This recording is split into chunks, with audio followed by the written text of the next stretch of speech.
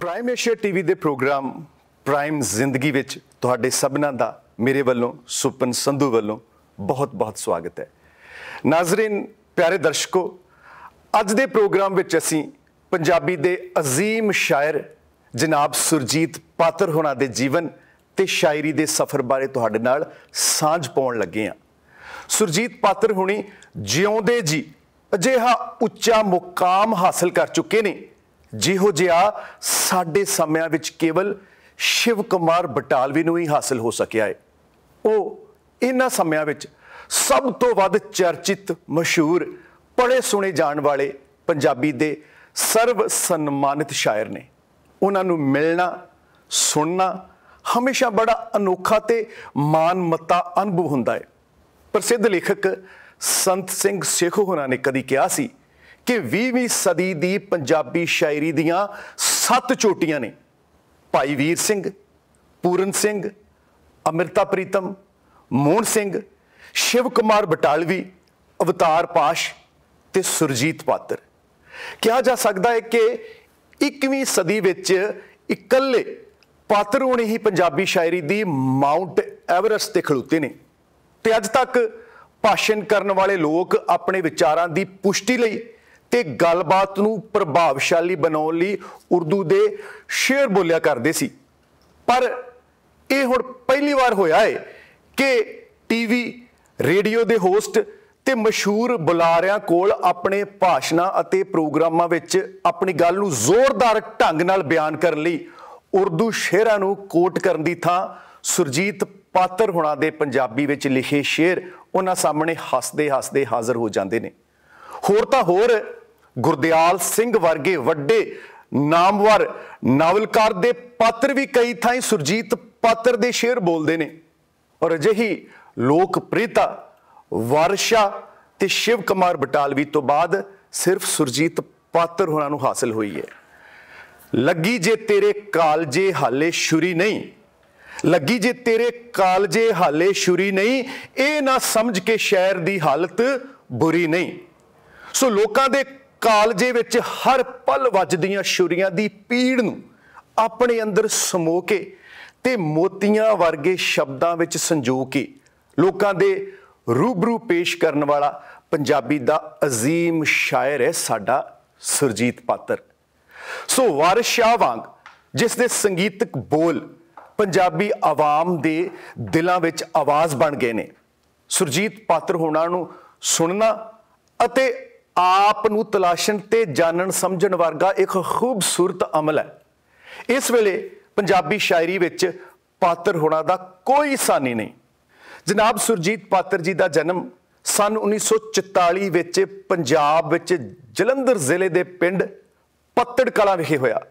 ਤੇ ਪੱਤੜ ਨਾਮ ਤੋਂ ਹੀ ਉਹਨਾਂ ਨੇ ਆਪਣਾ ਤਖੱਲਸ ਥੋੜਾ ਜਿਹਾ ਤਰਾਸ਼ ਕੇ ਖੁਰਦੇ ਤੋਂ ਕੂੜਾ ਜਿਹਾ ਬਣਾ ਕੇ ਪਾਤਰ ਰੱਖ ਦਿੱਤਾ।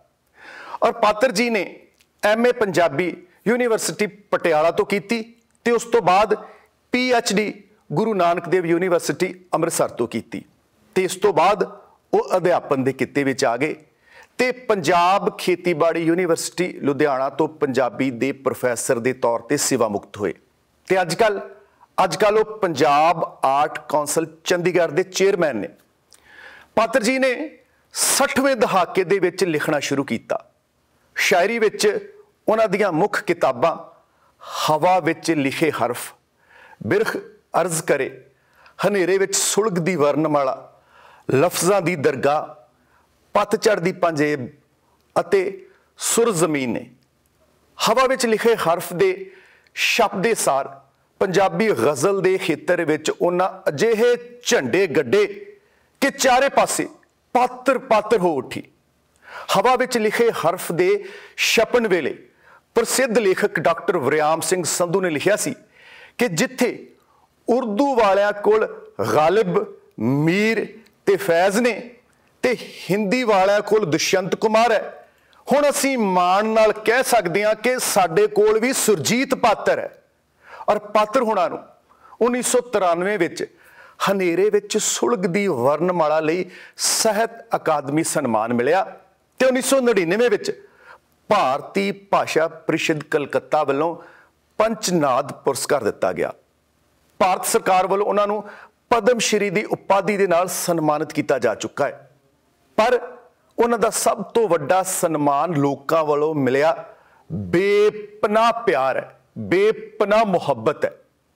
ਪਾਤਰ ਜੀ ਨੇ ਸ਼ਹੀਦ ਉਦਮ ਸਿੰਘ ਦੇ ਯਾਦਗਾਰੀ ਸੰਵਾਦ ਲਿਖੇ ਅਤੇ ਉਹਨਾਂ ਨੇ ਆਪਣੀ ਸ਼ਾਇਰੀ ਦੀ ਆਪਣੀ ਆਵਾਜ਼ ਵਿੱਚ ਬਿਰਖ ਜੋ ਸਾਜ਼ ਹੈ, ਇਸ ਨਾਮ ਹੇਠ ਇੱਕ ਟੇਪ ਵੀ ਰਿਕਾਰਡ ਕੀਤੀ ਸੀ। ਔਰ ਸ਼ਾਇਰੀ ਦੇ ਸ਼ੌਂਕੀ ਲੋਕਾਂ ਦੀਆਂ ਕਾਰਾਂ ਵਿੱਚ ਕਈ ਸਾਲ ਉਹ ਕੈਸੇਟ ਚੱਲਦੀ ਰਹੀ। ਲੋਕ ਗੁੰਗਣਾਉਂਦੇ ਰਹੇ ਕਿ ਕੋਈ ਡਾਲੀਆਂ ਚੋਂ ਲੰਘਿਆ ਹਵਾ ਬਣ ਕੇ ਤੇ ਅਸੀਂ ਰਹਿ ਗਏ ਬਿਰਖ ਵਾਲੀ ਆਹ ਬਣ ਕੇ। ਪਾਤਰ ਹੁਣੀ ਦੱਸਦੇ ਨੇ ਕਿ ਉਹਨਾਂ ਦੇ ਪਰਿਵਾਰ ਵਿੱਚ ਅੱਖਰਾਂ ਦਾ, ਯਾਨੀ ਕਿ ਸ਼ਬਦਾਂ ਦਾ ਪ੍ਰਵੇਸ਼ ਉਹਨਾਂ ਦੇ ਪਿਤਾ ਜੀ ਗਿਆਨੀ ਹਰਭਜਨ ਸਿੰਘ ਹੁਣਾਂ ਦੇ ਨਾਲ ਹੋਇਆ ਤੇ ਅੱਖਰ ਸਿੱਖੀ ਦੇ ਰੰਗ ਵਿੱਚ ਗੂੜੇ ਰੰਗੇ ਹੋਏ ਸੀ। ਯਾਨੀ ਕਿ ਗੁਰਬਾਣੀ, ਪਾਠ, ਕੀਰਤਨ ਤੇ ਸਿੱਖ ਇਤਿਹਾਸ ਨਾਲ ਇਹਨਾਂ ਸ਼ਬਦਾਂ ਨੇ ਹੀ ਸੁਰਜੀਤ ਪਾਤਰ ਹੋਰਾਂ ਨੂੰ ਜੋੜਿਆ। ਪਾਤਰ ਦੇ ਚਾਚਾ ਜੀ ਦਾ ਬੇਟਾ ਦਿਦਾਰ ਸਿੰਘ ਪਰਦੇਸੀ ਕਹਿੰਦਾ ਹੁੰਦਾ ਏ ਕਿ ਤਾਇਆ ਜੀ ਪਾਤਰ ਦੇ ਪਿਤਾ ਜੀ ਦੀ ਆਵਾਜ਼ ਭਾਰੀ ਸੀ, ਯਾਨੀ ਕਿ ਸਹਿਗਲ ਵਰਗੀ। ਪਾਤਰ ਦੇ ਪਿਤਾ ਜੀ ਉੱਤੇ ਸਿੰਘ ਸਭਾ ਲਹਿਰ ਦਾ ਗੂੜਾ ਪ੍ਰਭਾਵ ਸੀ। ਉਹਨਾਂ ਨੇ ਧੀਆਂ ਨੂੰ ਕਦੀ ਨੱਕ ਕੰਨ ਨਾ ਵਧਾਉਣ ਦਿੱਤੇ ਤੇ ਨਾ ਹੀ ਵੰਗਾ ਪਾਉਣ ਦਿੱਤੀਆਂ। ਉਹਨਾਂ ਦੇ ਘਰ ਵਿੱਚ ਸਿਰਫ ਧਾਰਮਿਕ ਕਿਤਾਬਾਂ ਹੀ ਸੀ। ਸੁਰਜੀਤ ਪਾਤਰ ਹੋਣੀ ਛੋਟੇ ਜਿਹੇ ਸੀ। ਰਾਤ ਦੇ ਰੋਟੀ ਟੁੱਕ ਤੋਂ ਵਿਹਲੇ ਹੋ ਕੇ ਸਾਰਾ ਟੱਬਰ ਦਲਾਨ ਵਿੱਚ ਬੈਠਾ ਸੀ। ਚੱਕੀ ਦੇ ਕੋਲ ਪੀੜੀ ਉੱਤੇ ਉਹਨਾਂ ਦੇ ਪਿਤਾ ਜੀ ਬੈਠੇ ਸੀ। ਬਾਲ ਪਾਤਰ ਨੇ ਪਿਤਾ ਜੀ ਨੂੰ ਕਿਹਾ, ਮੈਨੂੰ ਗੀਤ ਸੁਣਾਓ ਕਿ ਸੜਕੇ ਸੜਕੇ ਜਾਂਦੀ ਏ ਮੁਟਿਆਰੇ ਨਹੀਂ ਲਓ ਜੀ, ਉਹਨਾਂ ਦੇ ਪਿਤਾ ਜੀ ਹੱਸ ਪਏ ਤੇ ਥੋੜਾ ਜਿਹਾ ਗੀਤ ਦੀ ਤਰਜ਼ ਗੁੰਗਣਾਉਣ ਲੱਗੇ। ਪਰ ਗੀਤ ਦੇ ਬੋਲ ਉਹਨਾਂ ਲਬਾਂ ਤੇ ਨਾ ਲਿਆਂਦੇ। ਭੀੜੀ ਜਿਹੀ ਗਲੀ ਦੇ ਸਿਰੇ ਤੇ ਉਹਨਾਂ ਦਾ ਘਰ ਸੀ, ਜਿੱਥੇ ਦੋ ਪਰਿਵਾਰ ਰਹਿੰਦੇ ਸੀ। ਇੱਕ ਪਾਤਰ ਹੋਣਾ ਦੇ ਚਾਚੇ ਮਗਰ ਸਿਉ ਦਾ ਤੇ ਦੂਜਾ ਉਹਨਾਂ ਦੇ ਪਿਤਾ ਦਾ। ਉਹਨਾਂ ਦੇ ਪਿਤਾ ਤੇ ਉਹਨਾਂ ਦੇ ਚਾਚਾ ਜੀ ਦੇ ਪੁੱਤਰ ਦਿਦਾਰ ਸਿੰਘ ਪਰਦੇਸੀ ਦਾ ਜਨਮ ਇੱਕ ਹੀ ਛਾਥੇ ਹੇਠ ਹੋਇਆ।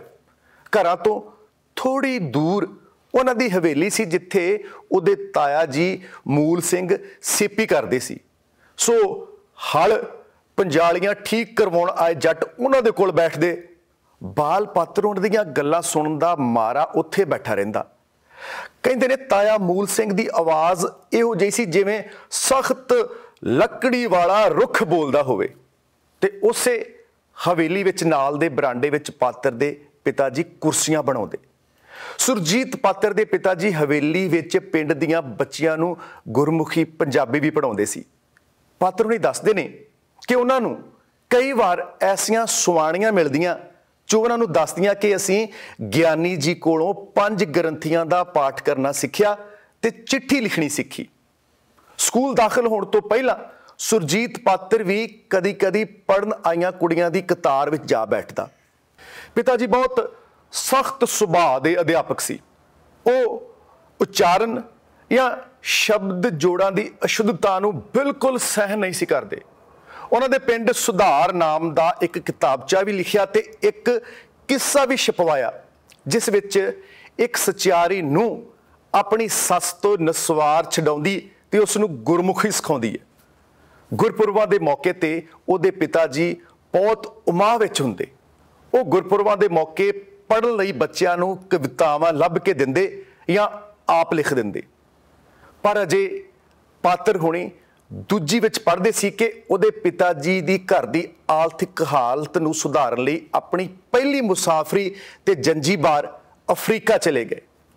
ਉਥੋਂ ਉਹ ਘਰ ਵੱਲ ਬਹੁਤ ਸੋਹਣੇ ਤੇ ਬਰੀਕ ਅੱਖਰਾਂ ਵਾਲੀ ਗੁਰਬਾਣੀ ਦੇ ਮੁਹਾਵਕਾਂ ਨਾਲ ਜੁੜੀਆਂ ਚਿੱਠੀਆਂ ਲਿਖਦੇ ਤੇ ਕਦੀ-ਕਦੀ ਉਹਨਾਂ ਚਿੱਠੀਆਂ ਵਿੱਚ ਉਹਨਾਂ ਦੀਆਂ ਆਪਣੀਆਂ ਲਿਖੀਆਂ ਕਾਵ ਸਤਰਾਂ ਵੀ ਹੁੰਦੀਆਂ ਤੇ ਸੁਰਜੀਤ ਪਾਤਰ ਨੂੰ ਉਹਨਾਂ ਦੀਆਂ ਇਹ ਦੋ ਸਤਰਾਂ ਅੱਜ ਵੀ ਯਾਦ ਨੇ ਕਿ ਮਾਓ ਜੀ ਦਾ ਮਜ਼ਦੂਰ ਸਦਾ ਕੇ ਰਹਿੰਦਾ ਹਾਂ ਹੁਣ ਪੇਥਾ ਚਾ ਕੇ। ਸੋ ਮਾਓ ਜੀ ਸ਼ਾਇਦ ਉਹਨਾਂ ਦੇ ਠੇਕੇਦਾਰ ਦਾ ਨਾਂ ਸੀ ਤੇ ਉਹ ਪੇਬਾ ਜਾਂ ਪੇਚਾ ਚਾ ਕੇ ਨਾਮ ਦੇ ਕਿਸੇ ਸ਼ਹਿਰ ਵਿੱਚ ਕੰਮ ਕਰਦੇ ਸੀ। ਦੋਸਤੋ, ਉਦੋਂ ਅਫਰੀਕਾ ਵਿੱਚ ਰੇਲਵੇ ਲਾਈਨਾਂ ਵਿਛ ਰਹੀਆਂ ਸੀ। ਸੁਰਜੀਤ ਪਾਤਰ ਹੁਣੀ ਚੌਥੀ ਜਮਾਤ ਵਿੱਚ ਪੜ੍ਹਦੇ ਸੀ। ਜਦ ਉਹਨਾਂ ਦੇ ਪਿਤਾ ਜੀ ਨੇ ਆਪਣੀ ਇੱਕ ਚਿੱਠੀ ਵਿੱਚ ਪਾਤਰ ਨੂੰ ਆਪਣੀ ਲਿਖੀ ਹੋਈ ਚਾਰ ਸਤਰਾਂ ਦੀ ਇੱਕ ਕਵਿਤਾ ਗੁਰੂ ਨਾਨਕ ਦੇਵ ਜੀ ਦੇ ਗੁਰਪੁਰਬ ਦੇ ਮੌਕੇ ਤੇ ਪੜਨ ਲਈ ਭੇਜੀ, ਜੋ ਸੁਰਜੀਤ ਪਾਤਰ ਹੁਣਾਂ ਨੇ ਯਾਦ ਕਰ ਲਈ। ਤੇ ਪ੍ਰਬੰਧਕਾਂ ਨੇ ਛੋਟੇ ਜਿਹੇ ਪਾਤਰ ਨੂੰ ਮੇਜ਼ ਤੇ ਖੜਾ ਕਰ ਦਿੱਤਾ ਤੇ ਉਹਨੇ ਉਹਨੇ ਜਕਾਰਿਆਂ ਦੀ ਗੂੰਜ ਵਿੱਚ ਉਹ ਕਵਿਤਾ ਸੁਣਾਈ ਕਿ ਧੰਨ ਗੁਰੂ ਨਾਨਕ, ਤੇਰੀ ਸਾਧ ਸੰਗਤ ਕਲਾ ਚੜਦੀ ਹੈ, ਦੂਣ ਸਵਾਈ ਹੋਵੇ। ਸੋ ਪਾਤਰ ਦੇ ਤਾਇਆ ਜੀ ਸਰਦਾਰ ਮੂਲ ਸਿੰਘ ਦੇ ਪੁੱਤਰ ਸੁਰੈਣ ਸਿੰਘ ਸੋਫੀ ਬਹੁਤ ਪ੍ਰਤਿਭਾਸ਼ੀਲ ਵਿਅਕਤੀ ਸੀ। ਉਹ ਹਵੇਲੀ ਵਿੱਚ ਕੁਰਸੀਆਂ ਬਣਾਉਂਦੇ, ਪਰ ਗੁਰਦੁਆਰੇ ਦੇ ਸਮਾਗਮਾਂ ਵਿੱਚ ਪੂਰੀ ਤਨਦੇਹੀ ਨਾਲ ਹਿੱਸਾ ਲੈਂਦੇ। ਉਹ ਬਹੁਤ ਮਿੱਠਾ ਕੀਰਤਨ ਵੀ ਕਰਦੇ ਤੇ ਧਾਰਮਿਕ ਕਵਿਤਾਵਾਂ ਵੀ ਲਿਖਦੇ। ਤੇ ਉਹਨੇ ਦਿਨੀ ਫਿਲਮੀ ਗੀਤਾਂ ਤੇ ਧਾਰਮਿਕ ਗੀਤ ਲਿਖਣ ਦਾ ਬਹੁਤ ਰਿਵਾਜ ਸੀ, ਜਿਵੇਂ ਅਜੇ ਵੀ ਮਾਤਾ ਦੀਆਂ ਭੇਟਾਂ ਜਿਹੜੀਆਂ ਨੇ ਫਿਲਮੀ ਤਰਜ਼ਾਂ ਤੇ ਲਿਖੀਆਂ ਜਾਂਦੀਆਂ ਤੇ ਗਾਈਆਂ ਜਾਂਦੀਆਂ ਨੇ। ਉਹ ਅਜਿਹੇ ਗੀਤ ਲਿਖਦੇ ਤੇ ਸਮਾਗਮਾਂ ਵਿੱਚ ਬੜੀ ਮਧੁਰ ਆਵਾਜ਼ ਵਿੱਚ ਸੁਣਾਉਂਦੇ। ਸੁਜੀਤ ਪਾਤਰ ਦੇ ਚਾਚਾ ਜੀ ਦਾ ਪੁੱਤਰ ਦਿਦਾਰ ਸਿੰਘ 7ਵੀਂ 8ਵੀਂ ਤੱਕ ਪਰਦੇਸੀ ਨਹੀਂ ਸੀ ਹੋਇਆ ਤੇ ਪਾਤਰ ਨੇ ਉਹਨੂੰ ਵੀ ਬਚਪਨ ਵਿੱਚ ਗਾਉਂਦਿਆਂ ਸੁਣਿਆ। ਕੁਝ ਸਾਲਾਂ ਬਾਅਦ ਤਾਂ ਖੈਰ ਉਹ ਬਹੁਤ ਮਸ਼ਹੂਰ ਗਾਇਕ ਬਣ ਗਿਆ ਤੇ ਉਸ ਨੂੰ ਲੋਕ ਅਫਰੀਕਾ ਦਾ ਮੁਹੰਮਦ ਰਫੀ ਕਹਿਣ ਲੱਗੇ।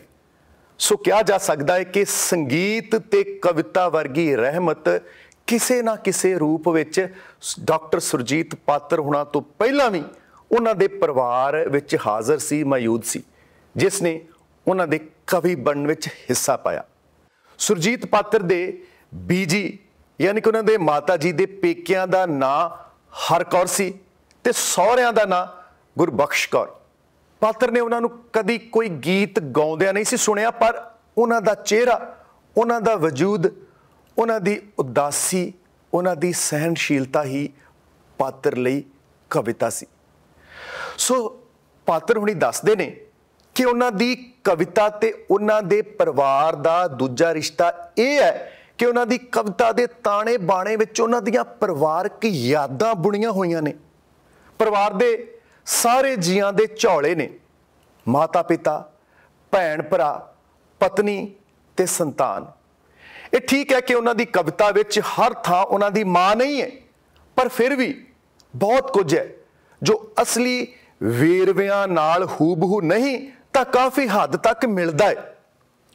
ਪਾਤਰ ਹੁਣੇ ਕਹਿੰਦੇ ਨੇ ਕਿ ਮੈਂ ਜਦੋਂ ਆਪਣੇ ਬੀਜੀ ਬਾਰੇ ਸੋਚਦਾ, ਤਾਂ ਮਮਤਾ ਤੇ ਕਰੁਣਾ ਦੇ ਨਾਲ ਭਰ ਜਾਣਾ ਚਾਰ ਧੀਆਂ ਤੇ ਦੋ ਪੁੱਤਰਾਂ ਦੀ ਮਾਂ ਸੀ ਉਹ। ਜਦੋਂ ਸੁਰਜੀਤ ਪਾਤਰ ਦੇ ਪਿਤਾ ਜੀ ਪਰਦੇਸ ਚਲੇ ਗਏ। ਦੋ ਧੀਆਂ ਵਿਆਹੀਆਂ ਤੇ ਦੋ ਧੀਆਂ ਕੁਵਾਰੀਆਂ ਸੀ। ਪੁੱਤਰ ਅਜੇ ਛੋਟੇ ਛੋਟੇ ਸੀ। ਪਾਤਰ ਮਸਾ 7-8 ਸਾਲ ਦਾ ਸੀ ਤੇ ਉਹਨਾਂ ਦਾ ਛੋਟਾ ਭਰਾ ਉਪਕਾਰ 4 ਸਾਲ ਦਾ। ਪਾਤਰ ਨੇ ਪਿਤਾ ਜੀ ਨੂੰ ਪਰਦੇਸ ਨੂੰ ਵਿਦਾ ਹੁੰਦਿਆਂ ਵੇਖਿਆ। ਆਪਣੀ ਮਾਂ ਦੀਆਂ ਸਿੱਲੀਆਂ ਅੱਖਾਂ ਵੇਖੀਆਂ ਤੇ ਬਹੁਤ ਵਰਿਆਂ ਬਾਅਦ ਉਹਨਾਂ ਇਸ ਵਿਦਾਈ ਬਾਰੇ, ਇਸ ਵਿਦਾ ਬਾਰੇ ਇੱਕ ਗੀਤ ਲਿਖਿਆ ਸੀ। ਉਹ ਗੀਤ ਹੈ ਕਿ ਸੁੰਨੇ ਸੁੰਨੇ ਰਾਹਾਂ ਵਿੱਚ ਕੋਈ ਕੋਈ ਪੈੜ ਹੈ।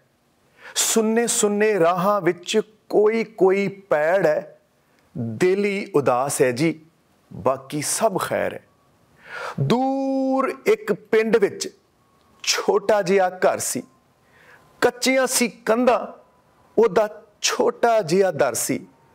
ਅੰਮੀ ਮੇਰੀ ਚਿੰਤਾ ਤੇ ਬਾਪੂ ਮੇਰਾ ਡਰ ਸੀ। ਉਦੋਂ ਮੇਰੀ ਔਂਦ ਯਾਰੋ ਮਸਾ ਫੁੱਲ ਭਰ ਸੀ। ਜਦੋਂ ਦਾ ਸਾਡੇ ਨਾਲ ਖੁਸ਼ੀਆਂ ਨੂੰ ਵੈਰ ਹੈ। ਮੈਲੀ ਜਈ ਸਿਆਲ ਦੀ ਉਹ ਧੁੰਦਲੀ ਸਵੇਰ ਸੀ। ਸੂਰਜ ਦੇ ਚੜਨ ਵਿੱਚ ਹਾਲੇ ਬੜੀ ਦੇਰ ਹੈ। ਪਿਤਾ ਪਰਦੇਸ ਗਿਆ ਜਦੋਂ ਪਹਿਲੀ ਵੇਰ ਸੀ। ਮੇਰੀ ਮਾਂ ਦੇ ਨੈਣਾ ਵਿੱਚ ਹੰਝੂ ਤੇ ਹਨੇਰ ਸੀ। ਹਾਲੇ ਤੀਕ ਨੈਣਾ ਵਿੱਚ ਮਾੜੀ ਮਾੜੀ ਗਹਿਰ ਹੈ। ਦਿਲ ਹੀ ਉਦਾਸ ਹੈ ਜੀ, ਬਾਕੀ ਸਭ ਖੈਰ ਹੈ।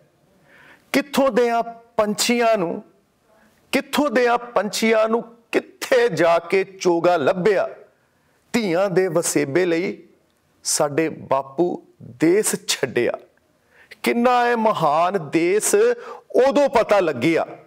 ਕਿੰਨਾ ਹੈ ਸਾਡਾ ਮਹਾਨ ਦੇਸ਼ ਉਦੋਂ ਪਤਾ ਲੱਗਿਆ? ਡੂੰਗਾ ਮੇਰੀ ਹਿੱਕ ਚ ਤਰੰਗਾ ਗਿਆ ਗੱਡਿਆ। ਝੁੱਲ ਉਹ ਤਰੰਗਿਆ, ਤੂੰ ਝੁੱਲ, ਸਾਡੀ ਖੈਰ ਹੈ ਦਿਲ ਹੀ ਉਦਾਸ ਹੈ ਜੀ, ਬਾਕੀ ਸਭ ਖੈਰ ਹੈ ਸੋ ਉਦੋਂ ਪ੍ਰਦੇਸ਼, ਕੁਝ ਜ਼ਿਆਦਾ ਹੀ ਪ੍ਰਦੇਸ਼ ਹੁੰਦਾ ਸੀ ਦੋਸਤੋ। ਸੋ ਪਿਤਾ ਜੀ ਸਮੁੰਦਰੀ ਜਹਾਜ਼ ਤੇ ਜਾਂਦੇ।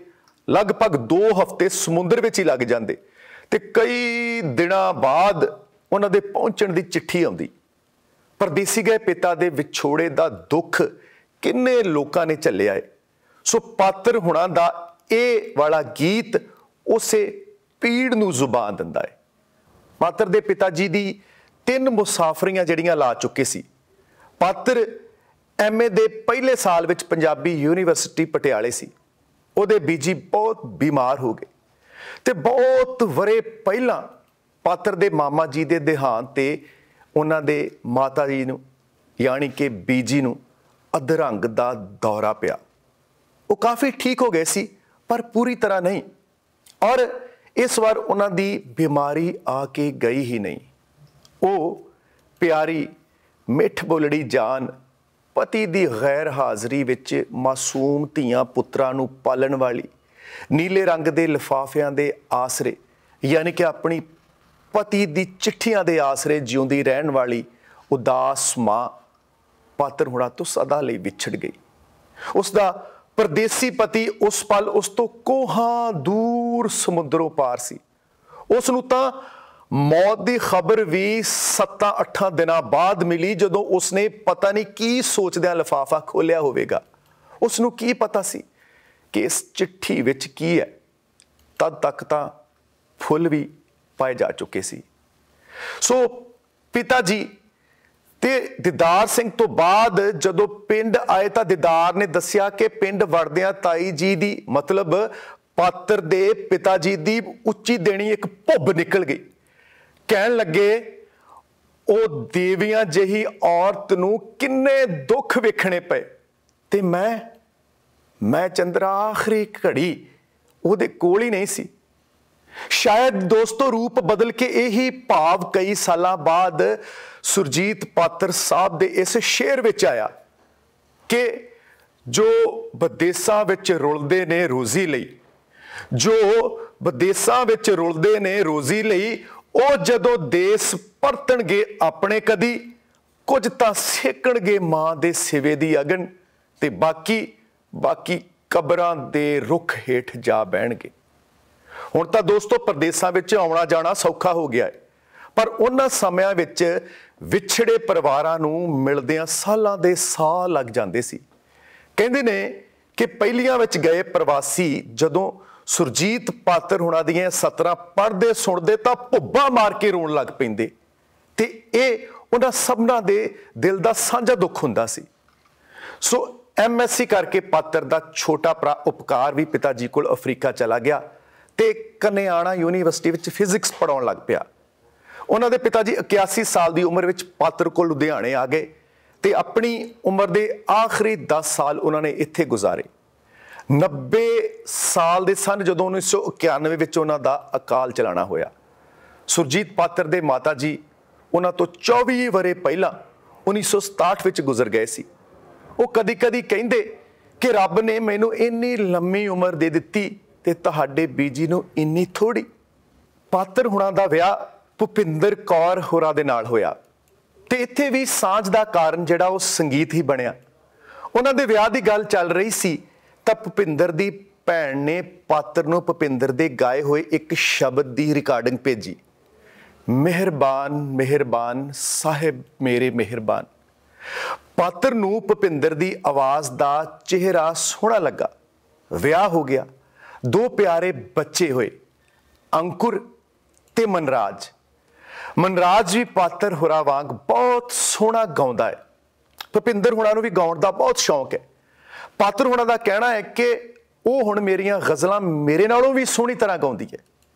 ਪਾਤਰ ਹੁੜੀ ਇੱਕ ਹੋਰ ਸਚਾਈ ਕੁਝ ਇੰਜ ਬਿਆਨ ਕਰਦੇ ਨੇ। ਇੱਕ ਦਿਨ 8ਵੀਂ ਵਿੱਚ ਪੜ੍ਹਦੇ ਬੇਟੇ ਨੇ ਆਪਣੀ ਕਲਾਸ ਵਿੱਚ ਕੁਝ ਦਿਨਾਂ ਲਈ ਟੂਰ ਤੇ ਜਾਣਾ ਸੀ। ਭੁਪਿੰਦਰ ਉਹਨੂੰ ਗੇਟ ਤੱਕ ਤੋਰਨ ਗਈ। ਉਹ ਬੱਸ ਤੇ ਚੜਨ ਲੱਗਾ, ਕਾਲ ਵਿੱਚ ਬਾਏ ਬਾਏ ਨਾ ਕਰ ਸਕਿਆ। ਭੁਪਿੰਦਰ ਗੇਟ ਤੋਂ ਵਾਪਸ ਆਈ ਤਾਂ ਇਹਦੀਆਂ ਅੱਖਾਂ ਨਮ ਸੀ। ਔਰ ਪਾਤਰ ਸਾਹਿਬ ਕਹਿੰਦੇ ਕਿ ਭੁਪਿੰਦਰ ਕਹਿਣ ਲੱਗੀ, ਬੇਟੇ, ਮਾਵਾਂ ਦੇ ਦਿਲਾਂ ਨੂੰ ਨਹੀਂ ਸਮਝਦੇ। ਪਾਤਰ ਹੋਣਾ ਕਿਹਾ, ਜਦੋਂ ਇਹ ਆਪ ਮਾਪੇ ਬਣਨਗੇ, ਉਦੋਂ ਸਮਝ ਜਾਣਗੇ। ਪਿਆਰ ਦਾ ਵਹਿਣ ਅਗਾਹ ਵੱਲ ਨੂੰ ਹੀ ਜਾਂਦਾ ਏ ਪਿਛਾਂ ਵੱਲ ਤਾਂ ਜ਼ਿੰਮੇਵਾਰੀ ਦਾ ਅਹਿਸਾਸ ਹੀ ਮੁੜਦਾ ਹੈ ਧੀਆਂ ਪੁੱਤਰਾਂ ਨੂੰ ਪਿਆਰ ਦੇ ਕੇ ਉਸ ਦੇ ਬਦਲੇ ਉਹਨਾਂ ਕੋਲੋਂ ਉਹਨਾਂ ਪਿਆਰ ਨਹੀਂ ਮੰਗੀਦਾ। ਇਹ ਪਿਆਰ ਉਹਨਾਂ ਅੱਗੇ ਆਪਣੇ ਪੁੱਤਰਾਂ ਧੀਆਂ ਨੂੰ ਦੇਣਾ ਹੁੰਦਾ ਹੈ ਇਹ ਮੇਰਾ ਪਿਆਰ ਦਈ ਆਪਣੇ ਜਾਇਆ ਨੂੰ ਪੁੱਤਰਾ, ਇਹ ਮੇਰਾ ਕਰਜ਼ ਤੂੰ ਮੈਨੂੰ ਕਦੇ ਅਦਾ ਨਾ ਕਰੀ। ਇਹ ਪਿਆਰ ਮਿਲਿਆ ਸੀ, ਮੈਨੂੰ ਵੀ ਮੁਫਤ ਪਿੱਛੋਂ ਹੀ। ਜੇ ਮੈਨੂੰ ਮੋੜ ਨਾ ਸਕਿਆ, ਤਾਂ ਦਿਲ ਬੁਰਾ ਨਾ ਕਰੀ। ਪਾਤਰ ਉਹਨਾਂ ਦੀ ਕਵਿਤਾ ਦਾ ਉਹਨਾਂ ਦੇ ਪਰਿਵਾਰ ਨਾਲ ਤੀਜਾ ਰਿਸ਼ਤਾ ਸੰਚਾਰ ਦਾ ਹੈ। ਉਹਨਾਂ ਦਾ ਪਰਿਵਾਰ ਉਹਨਾਂ ਦੀ ਕਵਿਤਾ ਨੂੰ ਕਿਸ ਤਰ੍ਹਾਂ ਸਮਝਦਾ ਹੈ? ਉਹਨਾਂ ਦੀ ਇੱਕ ਬੜੀ ਪ੍ਰਸਿੱਧ ਕਵਿਤਾ ਹੈ ਕਿ ਮੇਰੀ ਮਾਂ ਨੂੰ ਮੇਰੀ ਕਵਿਤਾ ਸਮਝ ਨਾ ਆਈ। ਮੇਰੀ ਮਾਂ ਨੂੰ ਮੇਰੀ ਕਵਿਤਾ ਸਮਝ ਨਾ ਆਈ, ਭਾਵੇਂ ਮੇਰੀ ਮਾਂ ਬੋਲੀ ਵਿੱਚ ਲਿਖੀ ਹੋਈ ਸੀ। ਉਹ ਤਾਂ ਕੇਵਲ ਇੰਨਾ ਸਮਝੀ ਕਿ ਪੁੱਤ ਦੀ ਰੂਹ ਨੂੰ ਦੁੱਖ ਹੈ ਕੋਈ, ਪਰ ਇਸ ਦਾ ਦੁੱਖ ਮੇਰੇ ਹੁੰਦਿਆਂ ਆਇਆ ਕਿੱਥੋਂ? ਨੀਜ ਲਗਾ ਕੇ ਦੇਖੀ, ਮੇਰੀ ਅਨਪੜ ਮਾਂ ਨੇ ਮੇਰੀ ਕਵਿਤਾ। ਦੇਖੋ ਲੋਕੋ ਕੁੱਖੋਂ ਜਾਏ ਮਾਂ ਨੂੰ ਛੱਡ ਕੇ ਦੁੱਖ ਕਾਗਤਾਂ ਨੂੰ ਦੱਸਦੇ ਨੇ। ਮੇਰੀ ਮਾਂ ਨੇ ਕਾਗਜ਼ ਚੁੱਕ ਕੇ ਸੀਨੇ ਨੂੰ ਲਾਇਆ। ਖਬਰੇ ਇਦਾਂ ਹੀ ਕੁਝ ਮੇਰੇ ਨੇੜੇ ਹੋਵੇ, ਮੇਰਾ ਜਾਇਆ। ਪਾਤਰ ਹੁਣੀ ਕਹਿੰਦੇ ਨੇ ਕਿ ਇਸ ਕਵਿਤਾ ਵਿਚਲੀ ਮਾਂ ਸ਼ਾਇਦ ਹਰ ਕਵੀ ਦੀ ਮਾਂ ਹੈ, ਸਿਰਫ ਮੇਰੀ ਮਾਂ ਨਹੀਂ। ਸਾਡਾ ਪੰਜਾਬੀ ਜਗਤ ਸੁਰਜੀਤ ਪਾਤਰ ਹੋਰਾਂ ਦੀ ਸ਼ਾਇਰੀ ਦਾ ਕਦਰਦਾਨ ਹੈ। ਪਰ ਕੁਝ ਕੁ ਨਿੰਦਕ ਸੁਰਜੀਤ ਪਾਤਰ ਦੀ ਪ੍ਰਸਿੱਧੀ ਤੋਂ ਸੜ ਬਲ ਕੇ ਉਹਨਾਂ ਖਿਲਾਫ ਲਿਖਦੇ ਬੋਲਦੇ ਵੀ ਰਹਿੰਦੇ ਨੇ। ਭਾਵੇਂ ਇਹਨਾਂ ਦੀ ਗਿਣਤੀ ਮੂਲੋਂ ਹੀ ਨਾ ਬਰਾਬਰ ਹੈ, ਪਰ ਕਿਸੇ ਦਾ ਮੂੰਹ ਨਹੀਂ ਫੜਿਆ ਜਾ ਸਕਦਾ। ਅਜਿਹੇ ਨਿੰਦਕਾਂ ਬਾਰੇ ਗੁਰੂ ਸਾਹਿਬ ਨੇ ਬਹੁਤ ਕੁਝ ਲਿਖਿਆ ਹੈ।